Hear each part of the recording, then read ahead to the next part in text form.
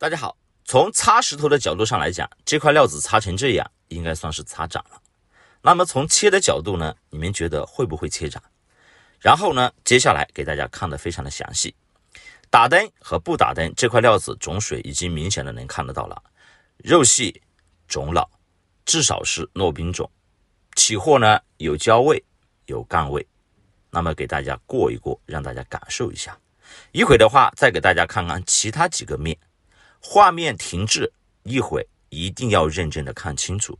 比如说这个面，大家注意看，为什么没有大面积的擦开，只是点状的点了一些点？注意啊，会不会往下切会变种？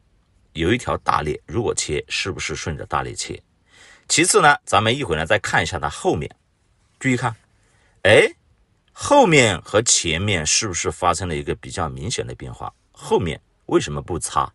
因为后面打灯没有什么太强的种水表现，最好的表现也是擦开的位置。那么有人可能会说啊，擦料子的人肯定是高手。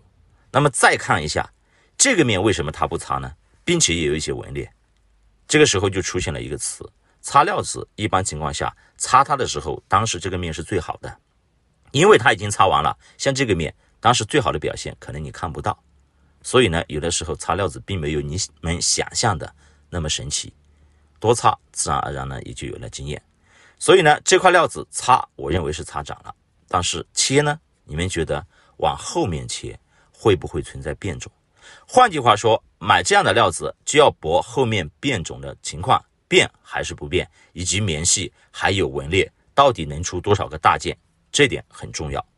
擦开的位置和没擦的位置，你们对比一下，这个位置。打灯有点种水，呈现一个糯化感吧。然后呢，反复的对比一下。咱们视频呢做的时间不是很长啊，因为太长了，很多人看不完，影响这个完播率。所以对这块料子感兴趣的朋友，后面我直播，你们可以说喜欢哪一块，我详细的把照片、视频调出来给大家分享。